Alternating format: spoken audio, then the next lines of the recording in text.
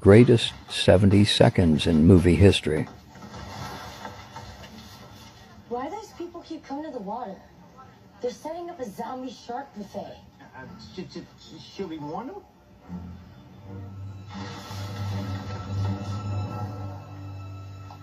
You almost ready?